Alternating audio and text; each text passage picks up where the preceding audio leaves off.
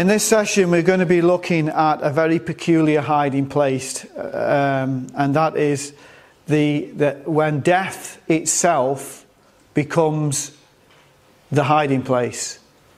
Now, please don't be put off by that. It will make perfect sense. Death for the believer is no tragedy, it's glorious, and we have to change the way that we think.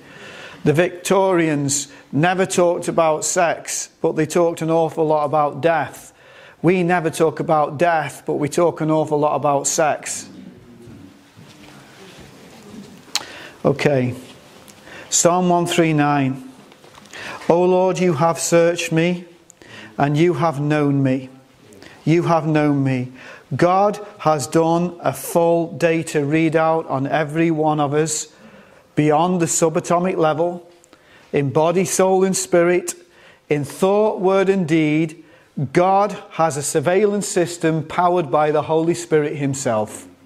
And there's nothing that's coming in the future that can hold up a candle to, to God's surveillance system. It's important that we know that. There is nowhere to hide from God.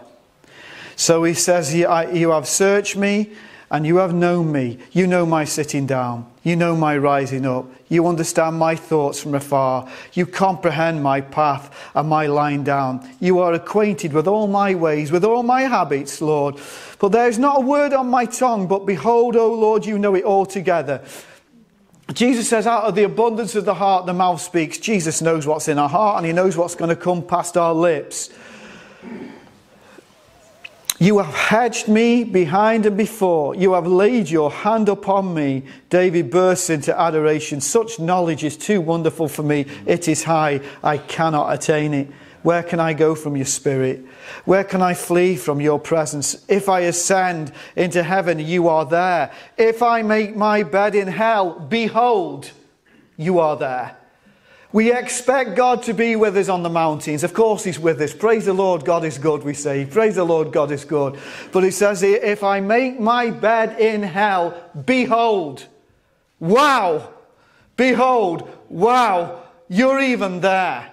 And that's what Corrie, when she left the death camps, Ravensbrück, she went around the world with one message that there is not a pit that's deep and dark enough where God's love can't go further. That was what she went around the world telling people. If I make my bed in hell, behold, you are there. If I take on the wings of the morning, if I dwell in the uttermost parts of the sea, and thank God Jesus promises every missionary, those that go across the farthest parts of the sea, promises them, I am with you always. Even there, your hand will, shall lead me, your right hand shall grasp me fast and seize me. Jesus says, no one will pluck them from my hand. If I say, Surely the darkness shall batter me, crush me, fall on me, even the night shall be light around me. And indeed, the darkness shall not hide from you. This verse just knocked me out the first time I looked at this in Scotland. Even the darkness, friends, is a light to God. It might not be light to us. We, we would probably see it as darkness, you understand will see it and think, oh, this is terrible. But from God's perspective, it's, He sees everything, every little thing, and He's going to get you through. There's nothing that God will put you through that He won't get you through. Okay, we're going to move on. This morning, like I say, we're going to talk about, again, this massive subject of hiding places. We're talking about persecution. So, in persecution, there's kind of three hiding places. There are physical hiding places. We'll deal with that first. Physical hiding places. Remember the film Corrie ten Boom when they hid the Jewish people? There are physical hiding places. Secondly, when the physical hiding places go and there are no longer any, you must be hidden in God. And then finally, when death itself becomes a hiding place. That's what we're going to be looking at, okay? So let's begin at Matthew chapter 24 very quickly and let's look at this. Matthew chapter 24. I love that Jesus gives us this beautiful overview. It's not complicated, it's clear, it's concise, it's beautiful. This is what Jesus says Take heed that no one deceives you, verse 4. For many will come in my name, saying, I am the Christ, and will deceive many. That's going to happen. You will hear of wars and rumours of wars. See to it that you're not troubled, for all these things must come to pass. The end is not yet. Nation or ethnos will rise against ethnos, ethnicities against one another, kingdom against kingdom. There will be famines, there will be pestilences and earthquakes in various places. All these are the beginning of birth pangs. They're just the beginning. And between each birth pang, you'll get a rest. I asked somebody this week, I can't remember who it was now, what's it like when you're going through the birth pangs and you get to have the rest? And they just simply said, you just say, thank God for the rest. All these are the beginning of birth pangs. Then they will deliver you up to tribulation and kill you, and you will be hated by all nations. What? Not one nation, all nations, for my name's sake. And then many will be offended and will betray one another and will hate one another. And then many false prophets will rise up and deceive many. And because lawlessness will abound, the love of the many will grow cold. So this is important. Talking about birth pangs, there comes a point where persecution begins, verse 9. They will deliver you up to tribulation. And as we look in the Bible, Jesus makes it very clear who you can expect the they to be. And it's quite shocking, but we just have to accept it. Jesus says it. So we have to accept it, as shocking as it is. Very often it's your own brother, it's your own sister that start this thing off. Now, Jesus says here, the, the, love of many will wax cold. We sang about it this morning. Your love has melted me. Your love has melted me. But there's coming a time when lawlessness will abide. We've been talking this week about the, the, the, the amount of scamming that's going on on the internet. People, people are stealing money left, right, and centre. In the last five years, it's increased massively. Yet nobody dare buy things on the internet anymore in case they feel they're going to be scammed. Lawlessness is increasing exponentially. This last five years, it's gone through the roof. As lawlessness increases, the love of the many will wax cold. Now, listen a, a, a, a chain is only as strong as its weakest link. It's only as strong as its weakest link. And in our character, in our character, when we get into those times, the part in our character that's weakest now will be the point that the chain snaps at in us. It's not going to snap in the strongest place, it's going to snap in the weakest place. Now, what we do as Christians is we say we, be, we believe the Word of God. Well, we do believe the Word of God. But what we tend to do is we have our favourite bits. We have the bits that we call the Word of God and we put a big emphasis on one bit.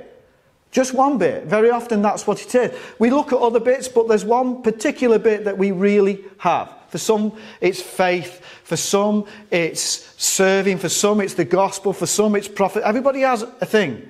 But here's the thing that we have to get we are only as strong as the weakest link in us. And so, friends, what we have to do now is level up in every area in the Word.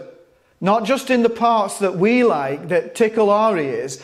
We've got to level up in the areas that we're weak in. So if we're weak in the area of unforgiveness, now is the time. Now is the time. Because if we don't level up in this area, we're only as strong as the weakest link inside of us.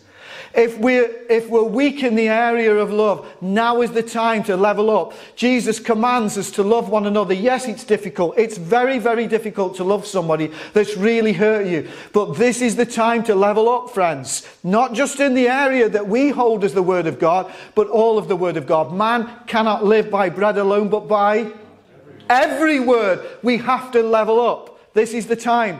We won't get this time when things start to change. Now is the time. Look at Corrie ten Boom and the family. Look very carefully at what they were before the persecution came. Look at them. They were innocent people. You notice that? Very childlike faith. But they loved the enemies. Did you notice that they loved the enemies? They cared for the salvation of the Nazis. That's important that we understand that. Do you understand that they took the word of God and they just took it for what it was? They believed all of it. These things are important. what we are now determines what we're going to be. So we have to level up. You are only as strong as your weakest link. Don't look at somebody else as the weakest link. Understand that, that we are, all of us are a series of links within ourself. And it's the weakest part of our character that will snap when the shaking begins. Where do earthquakes um, happen on this planet? Where the fault lines are. They always crack on the fault lines. It's always the same. The word sincere means to be without wax. They used to take a vessel and where the cracks are in the vessel, they'd fill them with wax and paint over them. Uh, you knock that vessel, where's it going to crack? It's going to crack where the cracks are. We are only as strong as our weakest links. So we have to make sure in this time that in our weakest areas we say, Search me, O Lord. Search me, O Lord, and see if there be something in me that needs an upgrade quickly. And I think that goes for all of us. Okay, so it's difficult. It's difficult because Jesus warns us it's going to be your brothers and sisters, and that's, that is a hard pill to swallow. Have a look at John chapter 16. John chapter 16. We're going to whiz through some scriptures this morning. John 16, verse. Well, just John 16, verse 1. These things I have spoken to you that you should not be made to stumble. They will put you out of the synagogues. Yes, the time is coming that whoever kills you will think he is uh, he offers God a service. Now that is just beyond. Uh, uh, you can't believe that that would be the case, but it, it will be the case. They they will honestly think that they're doing God a favour by by killing you. There are people like that today. I'm not on about physically killing, but there are people that actually think they're doing God a favour by utterly battering you. Uh, it's crazy. This is a. Folks, we're in this now. We've taken the red pill, and we have to just. We have to just accept we are on this journey, and the Lord will see us through. He'll see us through. So I'm going to show you something. It's one of the most complex parts of David's life where he goes from one physical hiding place to another, to another, to another. I want you to see how difficult it is. You see, people get this romantic view of the end times. They, they've read too many of the Left Behind books. And they kind of think, oh, it's going to be romantic and wonderful, and people are good. This is no. It's not going to be that way.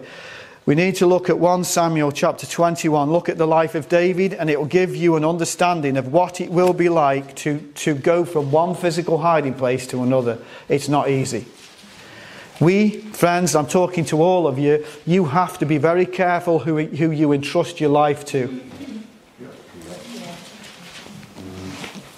Now, at this point in 1 Samuel 21, David had slain Goliath. Now, in the flesh, you would think that David deserves a reward for that. Have you ever done something wonderful for the Lord and sort of subconsciously you think you deserve a pat on the back? Uh, but what comes is actually persecution, and you think, where on earth did that come from? I didn't see that coming. Because subconsciously, that's what we think. We grew up, our parents told us, do something nice, you get a pat on the back. Then you get saved, you do something nice, you get a wallop round the head. You think, I don't get it. Well, well uh, it's all changed. Well, David slayed Goliath, and you, you, would think that it'd be wonderful, but it was the exact opposite. Saul begins to get very paranoid. Uh, the anointing leaves him. Saul is not a prayer. Have you noticed he's not a praying man? David is a praying man. Saul is not. He just presumes everything and jumps in and. Oh. Uh, so David is, is now on the run because he's. Jonathan, look, David, he's after you. He's going to kill you. He can't. So off he goes. Now, David goes to the most obvious place here. He goes to the sanctuary. If, if there's ever going to be a place where you're going to be safe, in David's mind, it's the sanctuary, right? So he goes to the sanctuary. And there's a wonderful priest in there called Ahimelech. Lovely guy. Um, and Ahimelech asks him in, in verse 1, like, what are you doing here? Why are you on your own? Uh, because David and Saul, for a time, were you know, glued together and you know, it just. Ahimelech knew there was something wrong. And I think by this point, rumours would have been circulating around Israel that there's something happening between David and Saul. And people were sort of picking up that, that something's not right.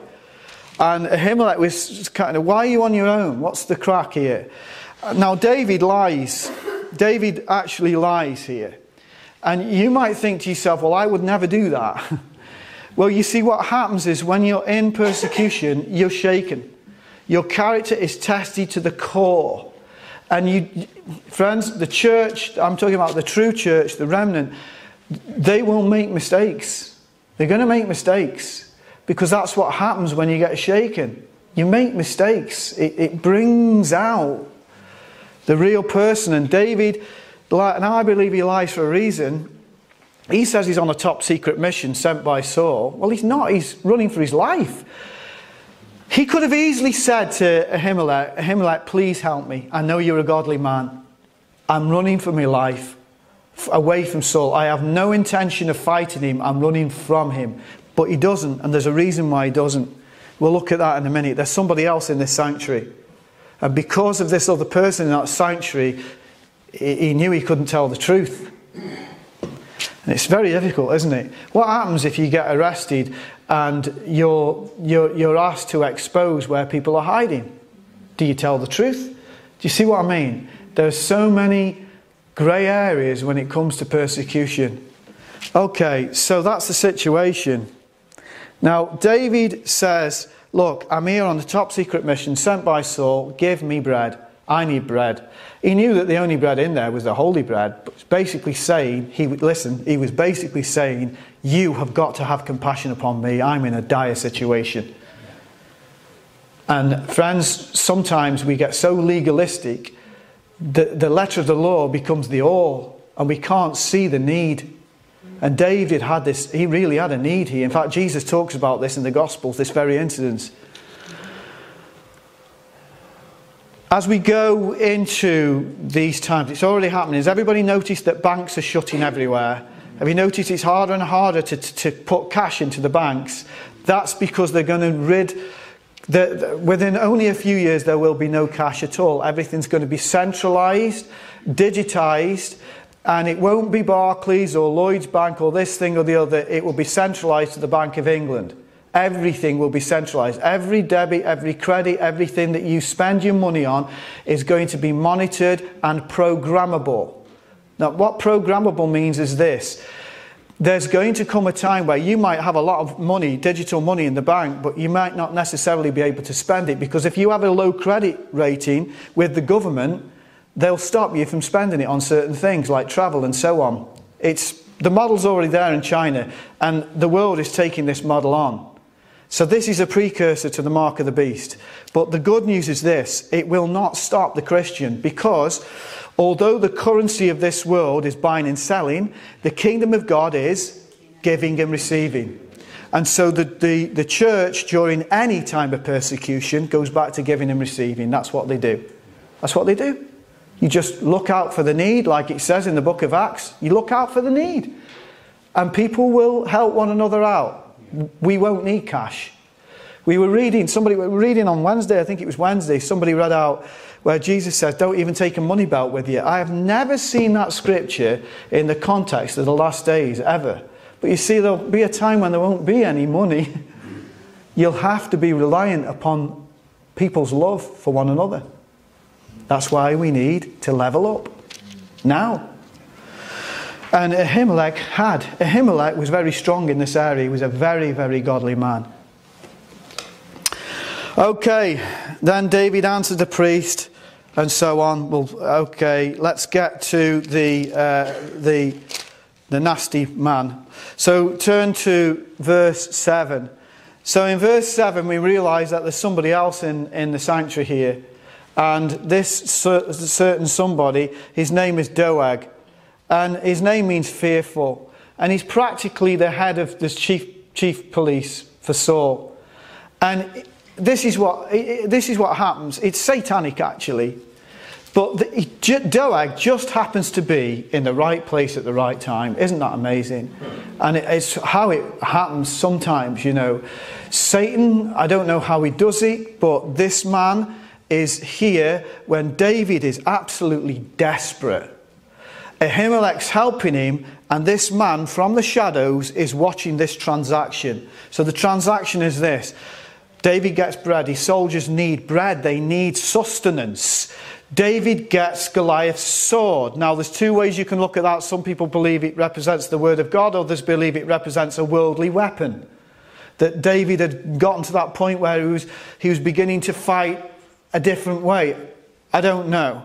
But he was also given guidance, and this man was watching from the shadows. He was watching, he was gathering, listen, he was gathering data. He was gathering information. It, it, it's not real estate that's going to be king in the future. It's not land that's going to be king, it's data. And so he observed what David was doing, and then I believe he put his own spin on it later. So David went into the sanctuary. He got bread off this compassionate priest. He got a weapon. He got guidance. Then he went from there to Gath. Uh, get this, right? This is, shows you the state of David's mind. He believed he stood more of a chance living amongst the Philistines than he did amongst the people of God. That's insane. But that's the situation. And he pretended to be insane, actually, during that time. Then he went from there to the cave of Adullam. People came to him, all the battered, bruised, discontent, uh, and in distress. They came to David. Then he went from there to the forest of Harith. And when he comes to the forest of Harith, we, in verse 6, we see that Saul is now completely paranoid. And um, Saul's beginning to lose it. And if we go to verse 8, 22 verse 8, it says, All of you, talking to his people, his servants, all of you have conspired against me. There is no one who reveals to me that my son has made a covenant with the son of Jesse. And there is not one of you who is sorry for me or reveals to me that my son has stirred up my servant against me to lie in wait as it is this day. Then Doeg, this man that was hidden in the shadows, that gathered the data, that observed the situation, Doeg the Edomite, who was set over the servants of Saul, notice that, said, Oh, I saw the son of Jesse going to Nob to Ahimelech, the son of Ahitub, and he inquired of the Lord for him, and he gave him provisions, and he gave him Goliath's sword. Notice that he leaves that to last. Listen, you can, you can recount a story to somebody, and it's not what you say, it's how you say it. That's why texting's weird, because people they struggle. They think, well, what does he mean by that? And how, how do I take that? So what Doeg is saying is true, but he kind of he, he, he, he changes the narrative by putting the last thing as being this weapon. In other words, yes, I saw him. He was helped out by Ahimelech. He was helped out by the priests, and he was given a weapon. And the, the sense that, that David is getting ready to fight Saul is anything but the truth. David was not getting ready to fight Saul. David was running from Saul. But because Saul is paranoid, this is what paranoia does, there are always people that will feed into that paranoia. You see it all the way throughout history. Dictators are paranoid people. They have power, they get paranoid, and they've got these little imps around them that feed them with more paranoia to get their own way. Like Yes Minister. Anybody remember Yes Minister? Okay. Let's go to verse 16. So now they round up these priests, Ahimelech. And the king said to Ahimelech, this guy that had such compassion upon David, you, you shall surely die, Ahimelech, you and all your father's house. Then the king said to the guards who stood about him, Turn and kill the priests of the Lord because their hand was also with David, and because they knew when he fled, and they did not tell it to me. But the servants of the king would not lift their hands to strike the priests of the Lord. That's amazing.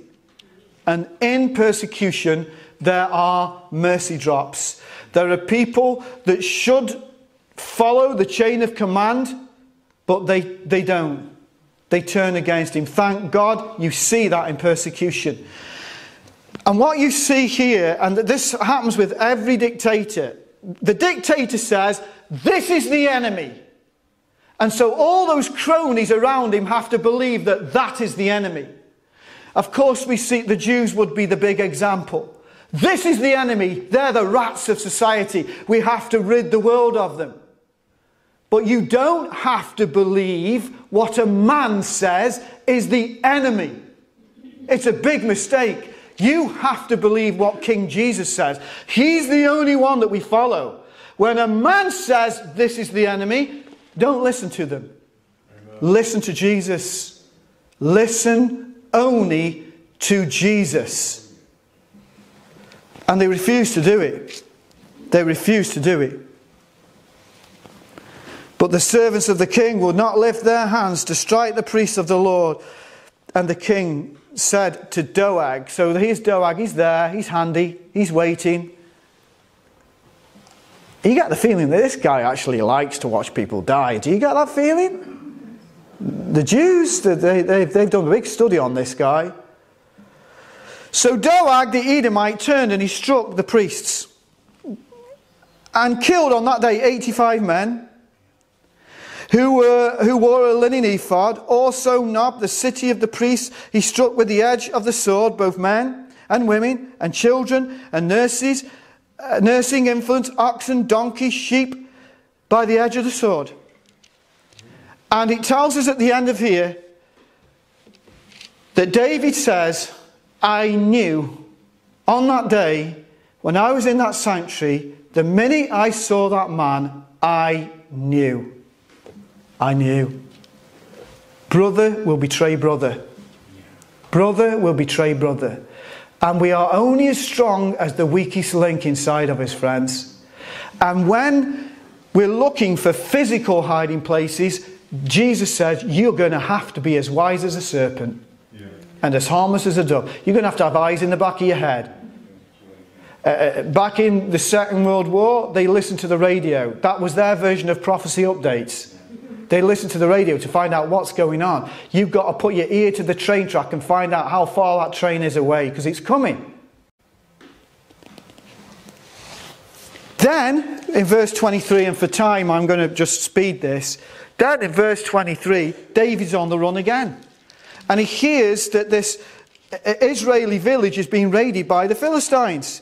So David inquired of the Lord, saying, Shall I go and attack these Philistines? And the Lord said to David, Go and attack the Philistines and save uh, But David's men said to him, Look, we are afraid here in Judah. How much more if we go to Keilah against the armies of the Philistines? So David inquired of the Lord again. So his own men are saying, We haven't got it, David. We're on the run. We're already fighting a battle. We're on the run. The last thing we need is another battle within a battle. So David says, Okay, guys, I'm going to go back to the Lord. He inquires of the Lord again. And when he inquires of the Lord again, the Lord says, Yes, go. Go down.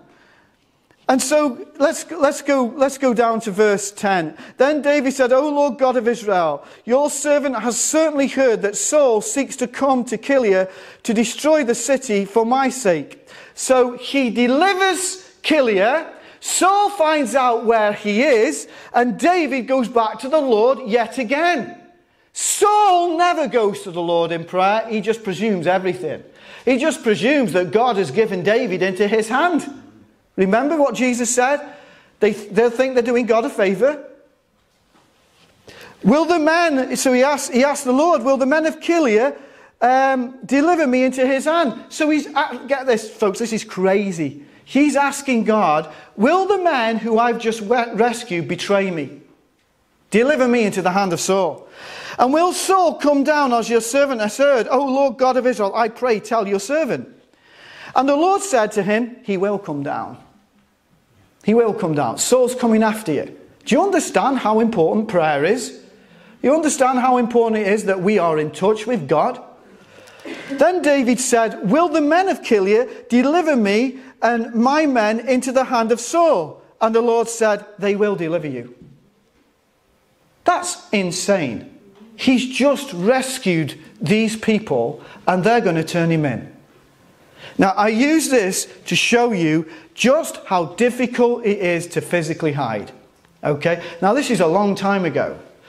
When you go, get to the times of the Jews and Stalin and what's going on in, in, uh, in um, China and, and, and the persecutions around the world, it's very, very, very difficult to physically hide. It's not impossible, but it's very difficult.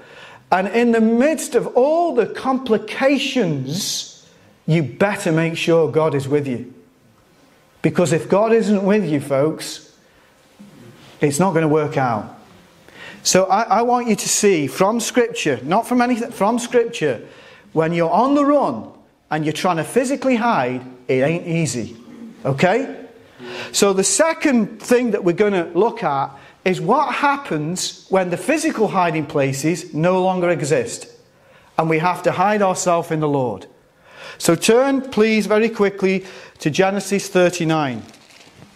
Genesis 39, Joseph had a coat, a beautiful coat given to him by his father that loved him dearly. Now, that coat basically meant that he was in charge of his brothers. That's what it meant.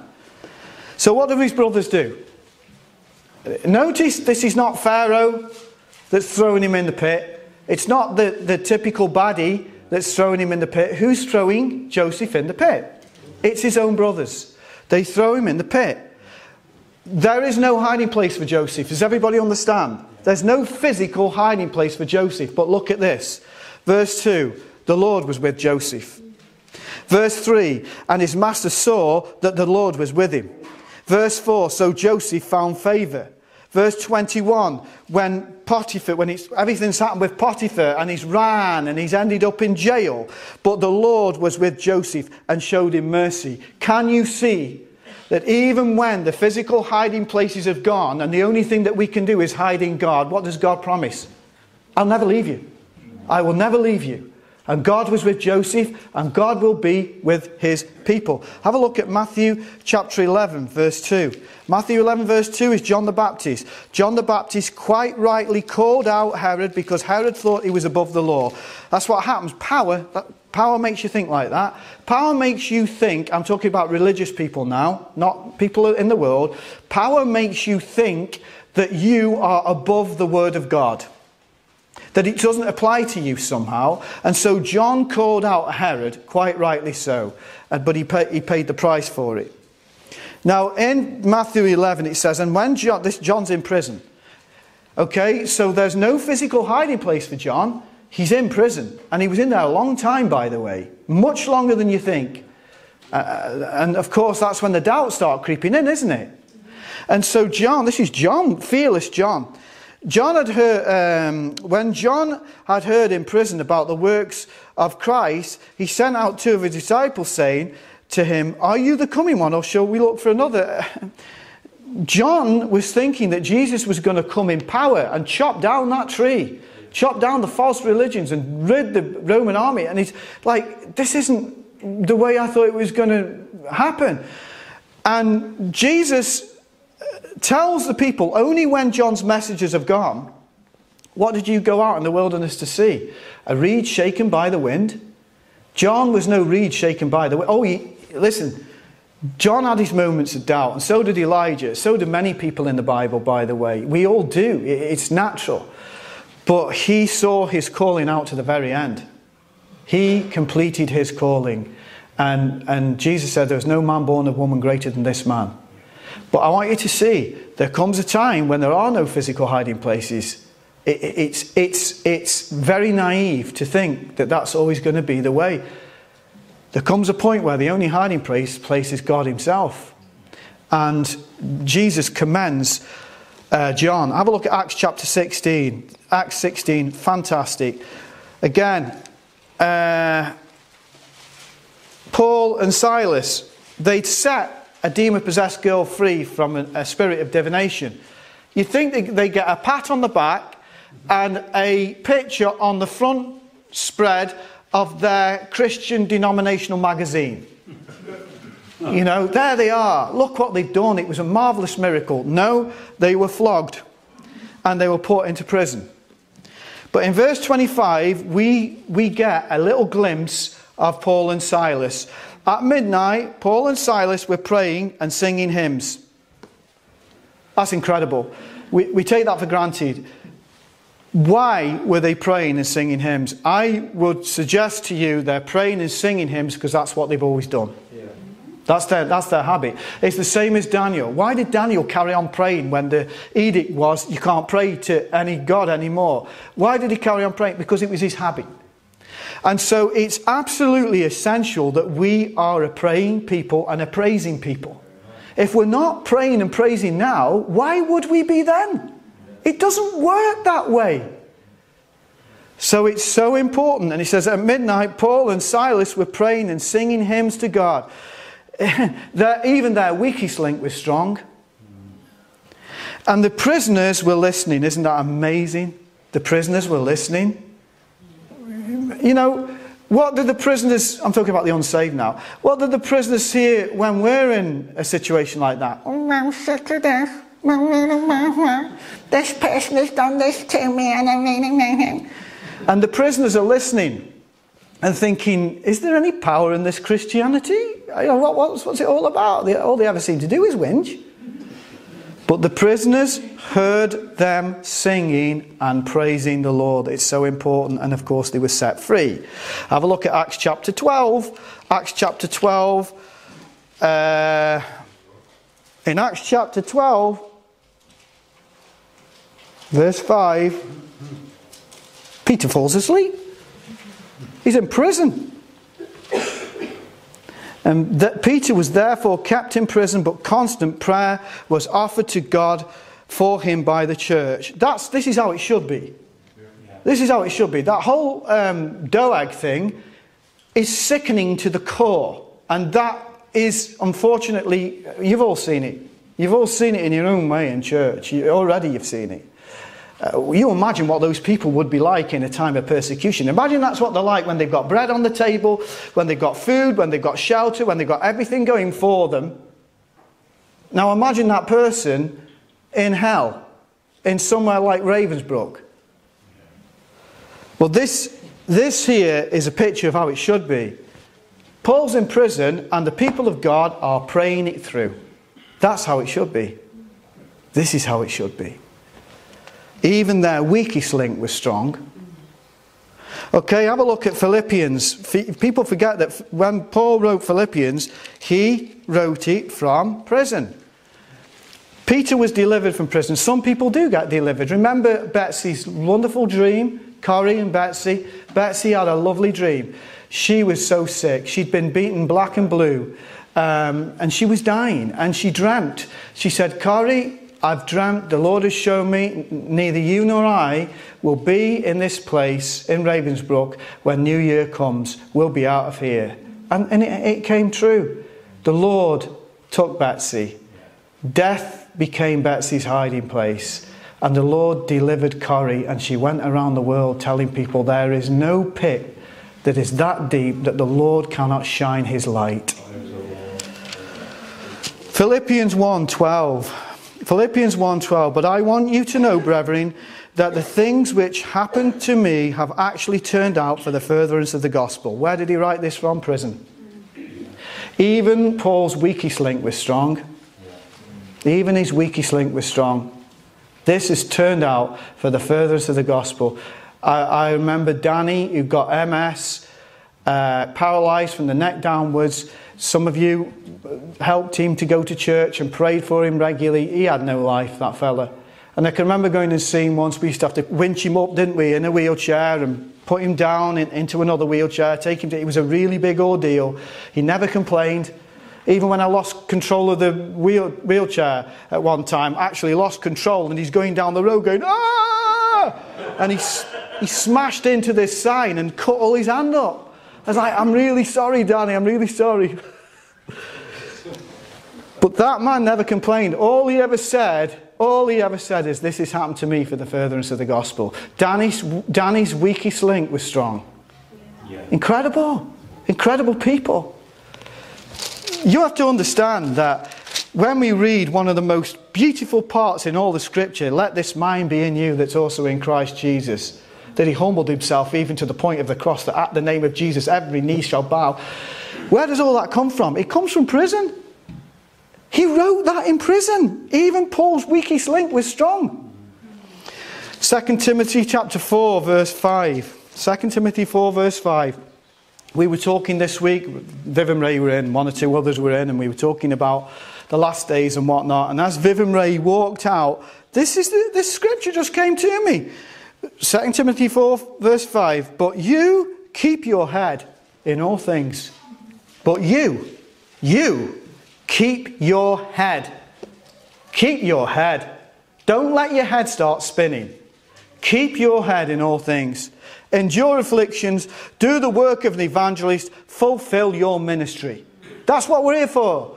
We have to keep our head, no matter what happens, and fulfill our ministry. Amen? Okay, praise the Lord. See how quickly I've gone through that.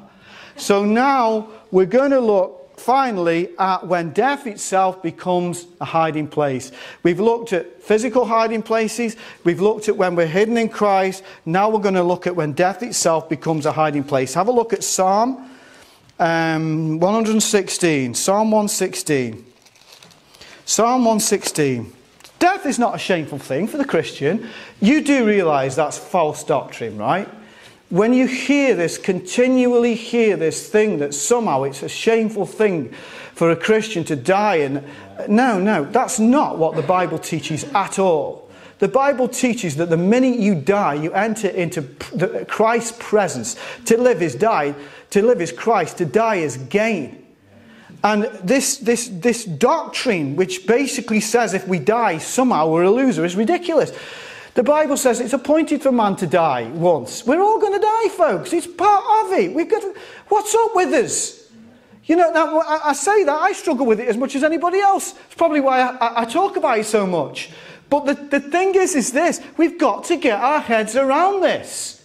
Precious in the sight of the Lord is the death of the saints. It's precious. That means rare, it means weighty, precious. Have a look at 1 Thessalonians 4. When people talk about 1 Thessalonians 4, they always talk about the rapture. Always the blinking rapture. Praise the Lord for the rapture, by the way. Wonderful. Hallelujah. What an event that's going to be. But we miss something. We miss it. 1 Thessalonians 4, verse 13, it says, But I do not want you to be ignorant, brethren, concerning those who have fallen asleep. We never talk about those that have fallen asleep. It's always about the rapture. It's always about, and we're the generation that's going to see the rapture, and we're going to go up in it. Every generation has said that. You do understand that, right? And every generation has fallen asleep. Most people fit into category number one. But they're still going to make the rapture because the dead in Christ go up first. Then those who are alive, we still make it, just, you know, in a different way. But we have to understand this. Falling asleep is a hiding place.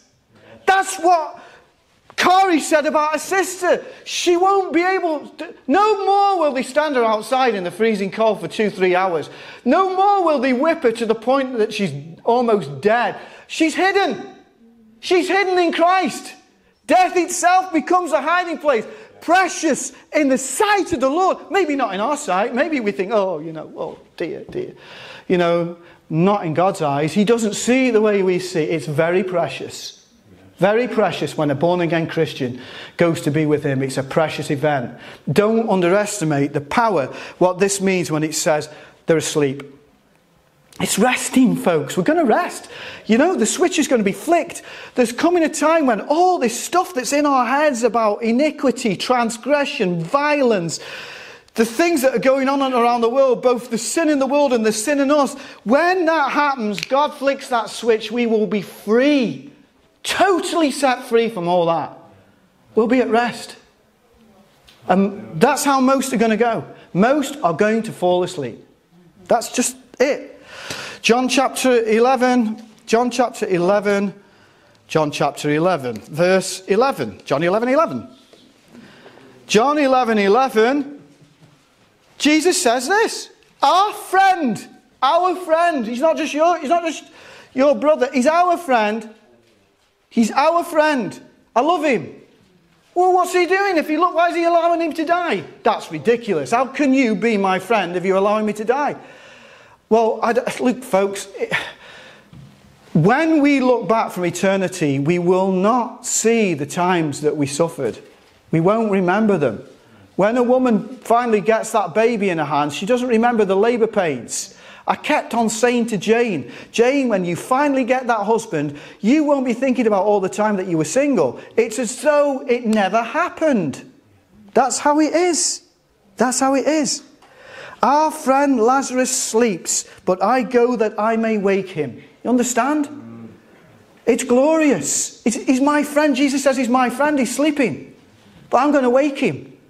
And I can imagine Lazarus thinking, What on earth are you bringing me back to this dump for? to be persecuted all over again, by the way. Yeah. Hebrews 11, Hebrews 11, verse 32. Let me, let me get through this. I'm doing well for time. Hebrews 11.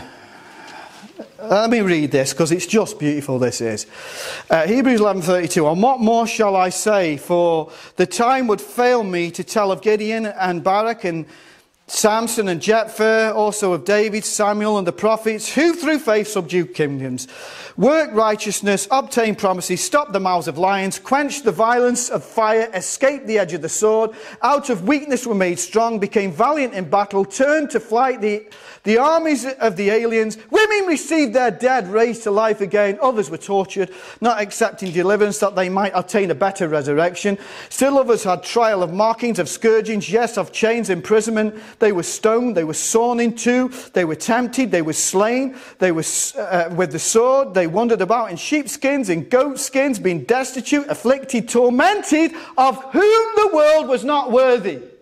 The world was not worthy of these people. No wonder the Lord took them the world was not worthy of them. They get to rest. Of whom the world is not worthy. They wandered in deserts and mountains and dens and in the caves of the earth. And all these, having obtained a good testimony through faith, did not receive the promise, God having provided something better for us, that they should not be made perfect except with us. Do you understand what this means? This means that there's a reunion coming in heaven when the dead in Christ and those that are caught up are gathered together in the heavens. And folks, it's going to be glorious. You know, when, when Joseph had a, a reunion with his brothers, what a messed up, dysfunctional family that was. But God loved them, you know. He loved them. And when they came together and Joseph wept, and all of them were, were, were, wrong in some way or another, what happened when they had that reunion? Did they all fall out, start punching one another? No. Joseph says, Come with me. I've prepared this place for you. All of this is for you. Come with me. That's how it's going to be in the reunion. In that reunion in heaven, you're going to see people that you didn't even get on that well with. Christians that you didn't even get on that well with. But guess what? You will not be the same person, and neither will they. You will bear the image of the man of heaven. You'll be rid of everything that's wrong, and so will they, and they will be your brother and sister. And, and it, it, it's hard for us to understand, but there's coming a reunion, so don't worry. Don't worry. You know what you have to do? What I have to do? We have to forgive people in our hearts now. Make sure there's nothing in us now. And sometimes the Lord opens the door for restoration. Sometimes it doesn't happen. But there's going to be a reunion in heaven. Those that are sleeping and those that are caught up. It's going to be incredible. Okay. I've got um, a few minutes to look at this. Have a look at Genesis chapter 5 just for a minute. Okay. The, now, oh. who's heard of the baby boomers? The baby boomers. So, the baby boomers are the longest living generation for hundreds of years. Yeah? Hundreds of years. There's never been a generation that's lived as long as this generation. They are a special generation, actually, because this generation have seen I believe, something of what a godly country looks like, as best as it can look in a fallen world anyway. The beginning of the baby boomers, you had people queuing up outside churches for national days of prayer under a godly king. We can't even imagine that today, can we? The baby boomers went to Sunday school, they went to church, they could quote the Psalms. Generally speaking, of course, I'm talking generally here. You went to schools, you didn't go to school and not hear the Bible. You, you sung hymns. This was their generation. And it is, it is alarming to think that within the next 10 years or so, this generation will have gone. They'll have gone. Now, in Genesis 5, there's a genealogy. I'm not going to go into it all because of time, but the last three names are Methuselah, Lamech, and Noah. Noah means rest. Rest. Lamech means his death shall bring. The longest living generation. When that when Methuselah dies, something changes. Lamech means despair, hopelessness, despair. I think in many ways the Queen, whatever you think of her as a person, I'm not being political, I'm just stating a point. The Queen represents that era of a time in this nation where we really were, as much as a secular nation can be, we were a Christian nation. And when she died, wasn't it strange that there were so many rainbows? Did you not think that that was a bit odd? Rainbows everywhere because it's coming to an end. It's coming to an end. I've seen so many godly, godly men. I'll, David Pawson would be a good example. 90 odd years of age when he passed. But what a man of God. The things that that man has seen, friends. Have you noticed that God is taking people? He's taking them. He's taking them. He's taking them. And there are people in this room right now that God is going to take. He's going to take you. You're going to sleep in Him. Please don't fear it. God loves you. He's taking you because He loves you, because there's something coming upon this earth that He doesn't want you to see. And He'll take you through death. Death itself will become the hiding place for you. And this baby boomer generation, they're nearly up. They're nearly up. You see, Methuselah means his death shall bring. Lamech means despair. Listen, when that generation goes, and there are no people anymore that can reference a godly time, can you imagine that? That can reference a godly time, Europe, particularly in the West, we will be plunged into something. And I want to say this this is important. You, if you're part of that generation, I'm speaking to you right now. It's not for you to shut your mouth when the younger ones tell you that this is how it is. The Lord never changes, He's the same yesterday, today, and forever. You keep on telling them what it was like. They might not listen, they probably won't listen, but there'll come a time when despair comes upon this earth when they realised that what grandma and granddad, what mum and dad said about this place, they would pine for that. They would pine for a time when you could actually have fellowship with other Christians. They would pine for a time when there's actual liberty and you can make your own decisions in life. They would pine for a time when there was such purity that people didn't actually have sex before they were married. They will pine for that because this world is spiraling out of control. And when the Methuselah generation disappears, despair will descend upon this planet. And the only thing that will be left is a remnant. Just a remnant. And if it's not for God, let me tell you this now if it is not for God, we'd become like dodos. If it, if it was not for God, Christianity would become extinct. There's a massive falling away coming, and it's gathering momentum all the time. And if it's not for God, there wouldn't even be a remnant. Let me show you in closing Isaiah 55, verse 1. Isaiah 55, verse 1. The righteous perishes. Notice that? and no man takes it to heart. We don't even understand how precious it is to the Lord. Merciful men are taken away, and no one considers. The righteous is taken away from evil. He shall enter into peace. They shall rest in their beds, each one walking in uprightness. Do you see this? He takes them, and He is taking them. And sometimes we transfix so much upon the rapture that we forget those that will sleep, those that will be taken even before the rapture. He's going to take them. He is taking them. Isaiah chapter 1, verse 9.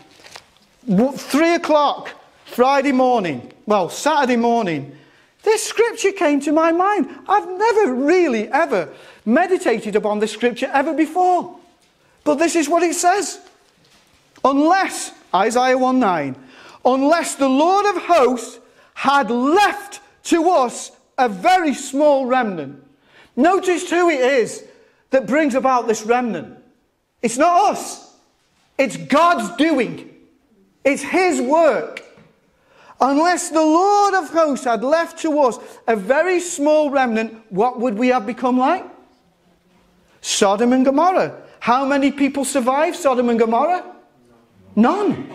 Unless the Lord brings about a remnant, once that Methuselah generation has gone, there will be no one. God will and is right now raising a remnant. And you are only, and I am only as strong as the weakest link inside of us. Okay. 1 Kings, 1 Kings 19, verse 18. This is really important. Elijah said on the top of Mount Carmel when he was out and completely outnumbered. Notice he was completely outnumbered. Who is Elijah? He's a foreshadow of the, uh, the two witnesses to come, three and a half years. The whole thing parallel. It's a picture of the last days. He's on top of Carmel and he's totally outnumbered. Totally outnumbered. That's the way it's going to be. And he says, I, I, am the only one. That's what he says. Now, in 1, uh, 1 Kings 19, verse 14, he says, I have been very zealous for the Lord of God of hosts because the children of Israel have forsaken your covenant, torn down your altars, killed your prophets with the sword. I alone am left. Get this.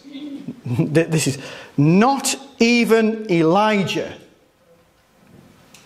Elijah was probably the leader of this whole kind of remnant thing. Not even Elijah himself knew where the remnant was. He had no idea that God was raising up a people for that very hour.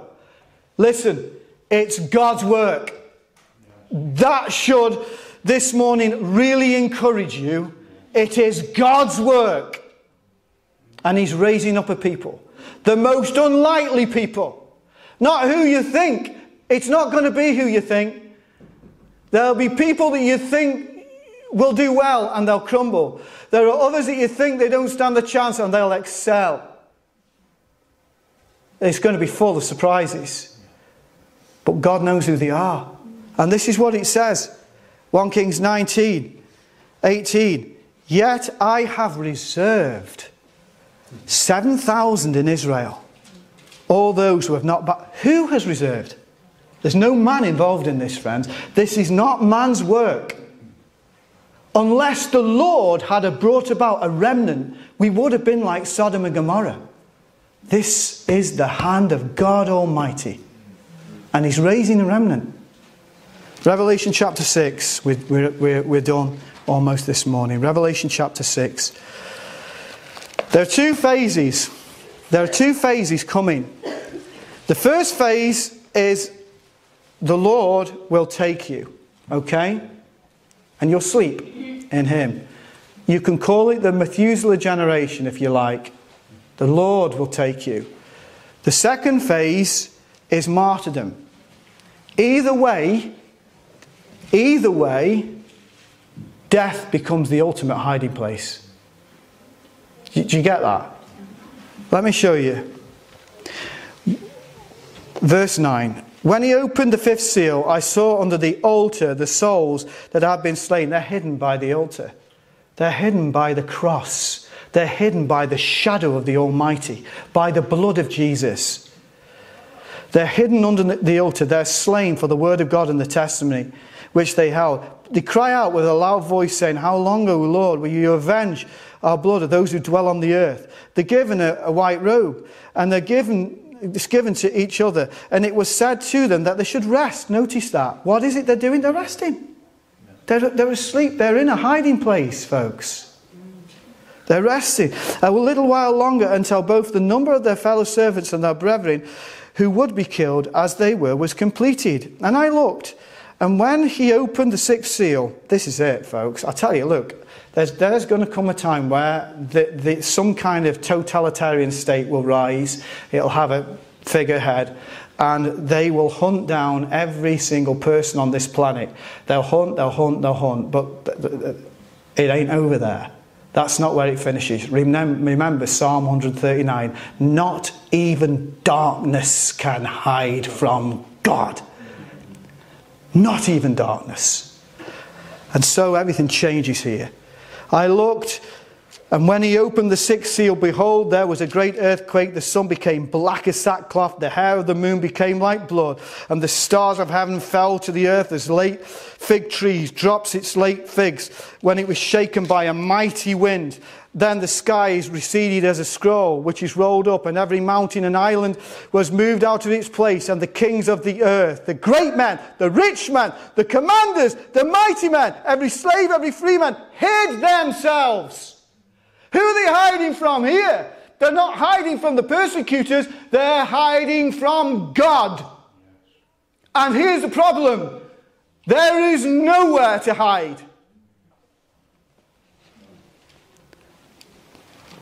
They hid themselves in the mountains and they said to the mountains and rocks, Fall on us and hide us from the face of him who sits upon the throne and of the wrath of the Lamb.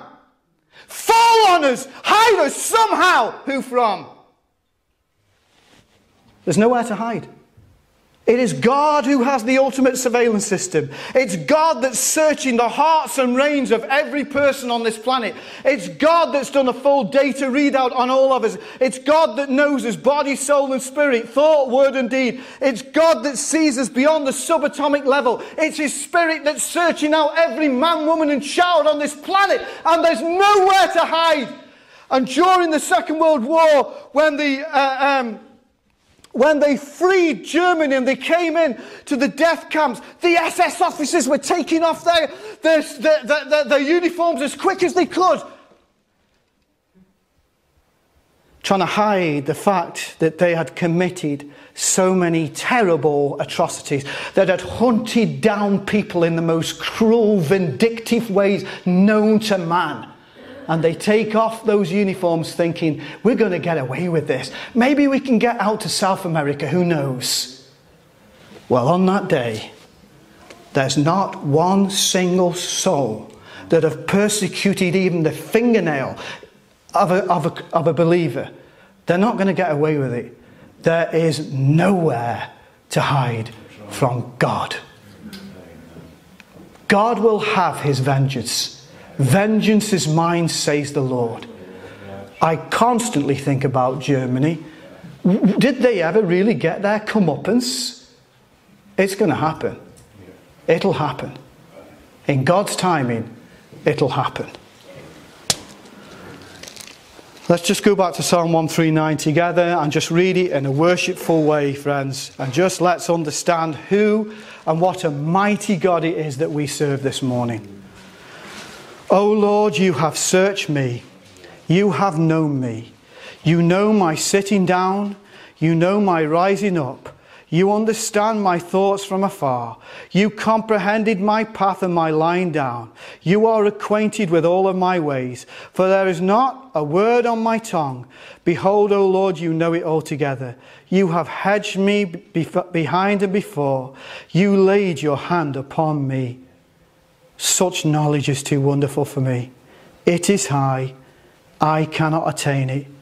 Where can I go from your spirit? Where can I flee from your presence? If I ascend into heaven, you are there. If I make my bed in hell, behold, you are there. If I take the wings of the morning and dwell in the uttermost parts of the sea, even there your hand shall lead me, your right hand shall hold me. If I say, Surely the darkness shall batter me, crush me, even the night shall be light about me.